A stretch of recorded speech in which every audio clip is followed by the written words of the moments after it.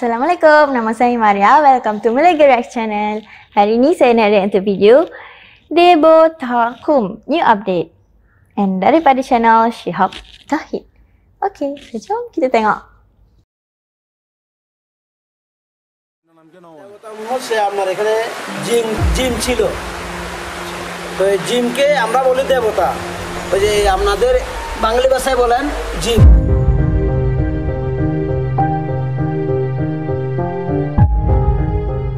পাহাড়ের এই মানুষগুলোর বিশ্বাস, এখানে দেবতার বসবাস। তাই তারা এই খুমের নাম দিয়েছে দেবতা খুম। বান্দরবনের রোয়াংছড়ি উপজেলার এই খুম নিয়েই আমরা সাজিয়েছি আজকের পর্ব। দেবতা খুম যাওয়ার নতুন নিয়ম কানুন এবং কোথায় কি করতে হবে তার ডিটেলস জানিয়ে দেব আজ। সাথেই থাকুন শেষ পর্যন্ত। যাচ্ছি বান্দরবন শহর থেকে মাত্র ১৯ কিলোমিটার দূরের রোয়াংছড়ি উপজেলায়। শহর থেকে রোয়াংছড়ি যেতে সময় লাগে বড়জোর এক ঘণ্টা। আমরা ট্রিপ মেম্বার পাঁচজন, তাই বান্দরবন শহর থেকে কচ্ছপতলি পর্যন্ত সিএনজি অটো রিজার্ভ করে ফেলি আটশো টাকায়।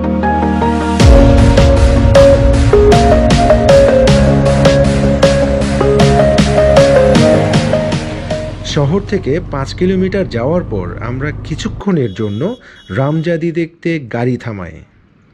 যারা দেবতা দেবতাখুম ভ্রমণে যাবেন, তাদের বলব, যাত্রাপথে তিরিশ মিনিটের জন্য এই অসাধারণ সুন্দর মন্দিরটি দেখে যান।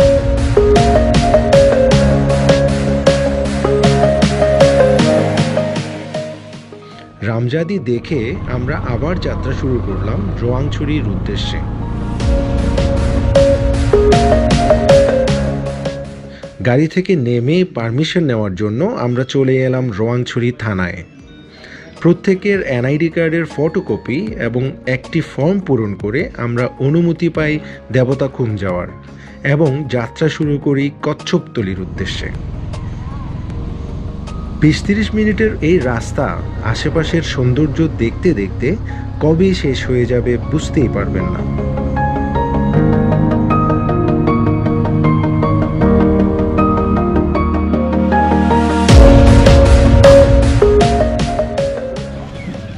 পৌঁছে গেলাম কচ্ছপতলি এইবার লিরাগাঁও আর্মি ক্যাম্পের রিপোর্ট করার পালা। বলে রাখি, দেবতা খুম যাওয়ার জন্য এই ক্যাম্পে একবার রিপোর্ট করতে হয়। এখন আমরা কচ্ছপথলি থেকে শিলবান্দা পাড়ার দিকে যাচ্ছি। আর এখান থেকে শিলবান্দা পাড়া পর্যন্ত যাওয়ার জন্য দুটো ট্রেল আছে। একটা পাহাড়ি ট্রেল আর একটা ঝিরি ট্রেল আমরা আজ যাচ্ছি ঝিরি ট্রেল ধরে। কারণ ঝিরি ট্রেলের একটা সুবিধা সেটা হলো এখানে তেমন একটা পাহাড় মারাতে হয় না, খুব ইজিলি যাওয়া যায়। আর ঝিরির সৌন্দর্য দেখতে দেখতে চলে যেতে পারবেন খুব ইজিলি আর পাহাড়ি ট্রেলের যেটা সুবিধা সেটা হচ্ছে বন্য একটু পরিবেশ পাবেন, কিন্তু ওই ক্ষেত্রে আপনাকে একটা পাহাড় টপকাতে হবে। সো যাদের ফিটনেস ভালো, তাদেরকে বলব আমরা ওই পথ ধরে যান। তবে মনে রাখবেন, বর্ষাকালে কোনোভাবেই এই ঝিরি পথ ধরে যাওয়া যাবে না, ওটা অনেক বেশি ডিফিকাল্ট হবে।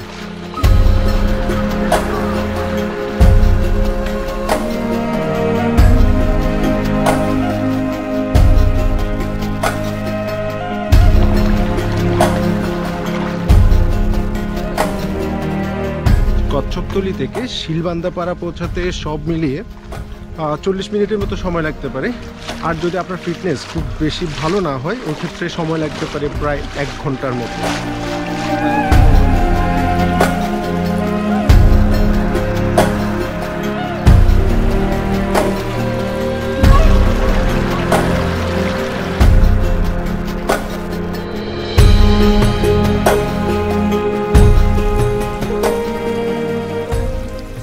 আমরা যদি পাহাড়ি ট্রেল ধরে আসতাম, তাহলে এই যে উপরে যে ট্রেলটা ওই ট্রেল ধরে আসতে হতো আমাদেরকে, এই পাহাড়টা টপকাতে হতো। কিন্তু আমরা এদিক দিয়ে না এসে, আমরা এসেছি এই যে ঝিরিটা ধরে, যার কারণে আমাদের অনেক কম সময় লেগেছে এবং কষ্টও কম হয়েছে। তাই আমি বলব, যদি বর্ষাকাল না হয়ে অন্য কোনো সময় হয়, তাহলে এই ঝিরি ধরে আসতে পারেন। এটা অনেক সুইফট হবে এবং কষ্ট হবে, অনেক কম।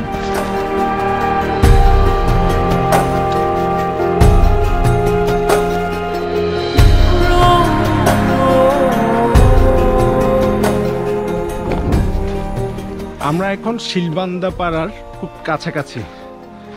এই যে, এই পাড়াটাই হচ্ছে শিলবান্দা পাড়া ছোট্ট একটা গ্রাম, অল্প কয়েকটা ঘর। এই পাড়ার সবচেয়ে ইন্টারেস্টিং বিষয় সেটা হচ্ছে এখানে একটা ঝর্ণা আছে, শিলবান্দা ঝর্ণা বলে।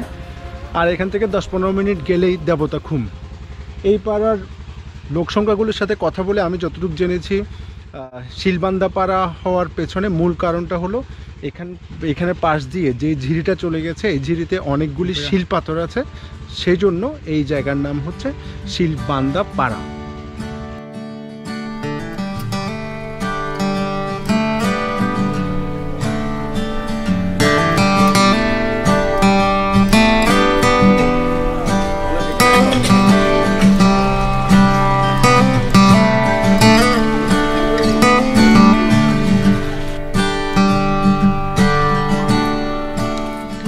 শিলবান্দা পাড়ায় কিছু সময় কাটিয়ে আমরা আবার হাঁটা শুরু করলাম।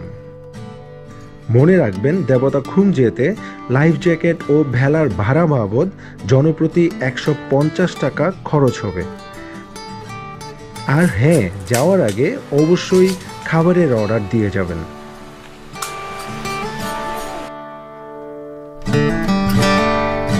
শিলবান্দা পাড়ায় ট্যুরিস্টদের জন্য এখন অনেক বেশি সুযোগ সুবিধা আছে। বিশেষ করে আগে এখানে খাবার দাবারের কিছু সমস্যা ছিল এখন ওই প্রবলেমটা নেই। একটা খাবার হোটেল হয়েছে খাবারের মান মোটামুটি তবে প্রাইসও একদম কম না। দুশো টাকা পার মিল আর ঘুমে যাওয়ার জন্য নৌকার ব্যবস্থা করা হয়েছে। আগে নৌকা ছিল না আগে ছিল শুধু ভেলা। এখন দুই ধাপে নৌকা আছে সো অনেকটা পথ হাঁটতে হয় না সামান্য একটু হাঁটলেই কিন্তু দেবতা কম পৌঁছে যাওয়া যায়। Ngak muye. যে নৌকাটি দেখছেন সেটি আমাদের জন্য অপেক্ষমান। এই নৌকা আমাদের নিয়ে যাবে দেবতা খুমের শুরু পর্যন্ত।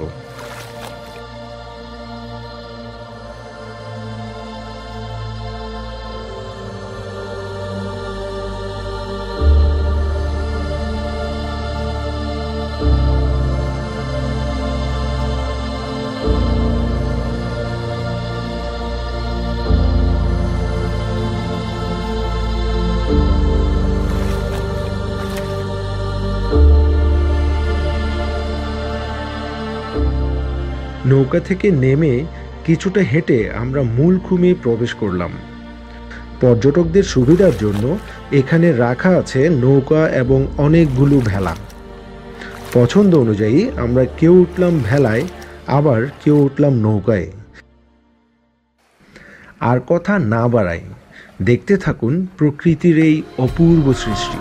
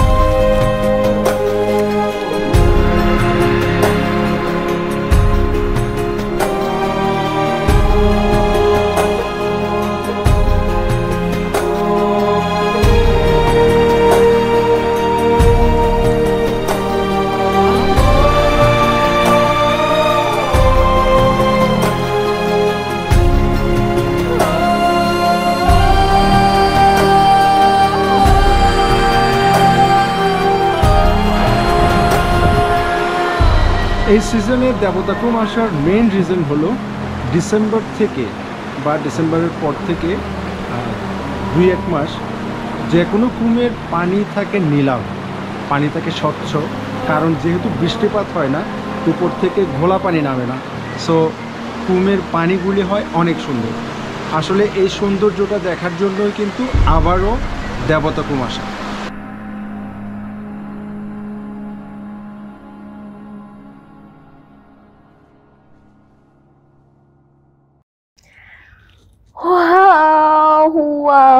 Unbelievable. Cantik sangat. Cantik sangat. Subhanallah, Masya Allah. Ah, cantiknya. Oh, ya Allah. Saya harap satu hari nanti saya boleh datang ke sini, ke tempat ni. Tak tahu macam mana nak cakap lagi dia punya cantik tu. Ha. Itulah ciptaan Allah kan. Dia punya structure batu dia, dia punya bentuk, dia punya design, dia punya Ah, semualah, semualah cantik. Tak tahu nak cakap macam mana lagi. Okey. Sekejap lagi saya nak google dekat mana tempat ni. Debo Kakum.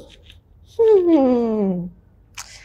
InsyaAllah satu hari nanti Allah izinkan saya untuk sampai ke tempat ni. So, saya harap uh, siapa-siapa yang mungkin um, tengah busy dengan dunia sekarang ni kan, dunia life, busy bekerja ke, busy study ke, mungkin sekali-sekala boleh uh, spend time untuk pergi kat nature ni kan.